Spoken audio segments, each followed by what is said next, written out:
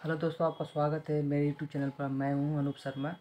आज मैं आपको बताऊँगा स्क्वायर फुट कैसे निकालते हैं। ठीक है दोस्तों, मान लीजिए कि आपका ये एरिया है। ये हमारा एरिया मान लीजिए कि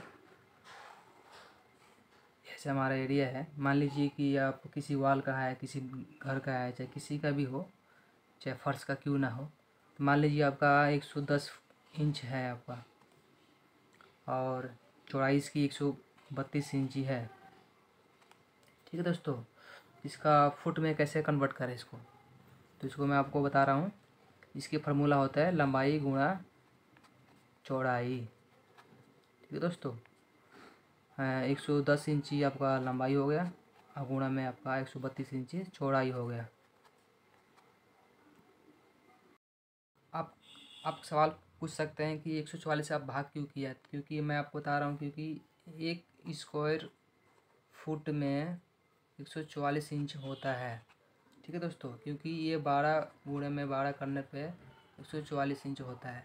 इसलिए इसका फार्मूला यही होता है कि आप इसे कोई भी एरिया निकालना हो तो आपको लंबाई गुणा चौड़ाई कर देना है और उसके बाद एक सौ चवालीस से भाग कर देना है। जो भी एरिया है, आपका बन जाएगा। मान लीजिए कि आपको अगर आपका फिट में हो, मान लीजिए आपका अगर फिट में हो तो कैसे निकाल मान लीजिए कि आपका एरिया है, ये आपका दस फुट बाई तेरह फुट।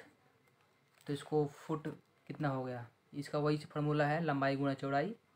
लंबाई गुणे में चौड़ाई तो लंबाई कितना है आपका? दस इंची, और चौड़ाई तेरह इंची है तो आपका एक सौ तीस फुट आ चुका है।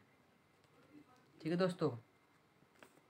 हमारा एक सौ तीस फुट स्क्वायर फुट आ चुका है। अगर वीडियो अच्छी लगे तो वीडियो को लाइक कीजिए, चैनल को सब्सक्राइब कर लीजिए दोस्तों।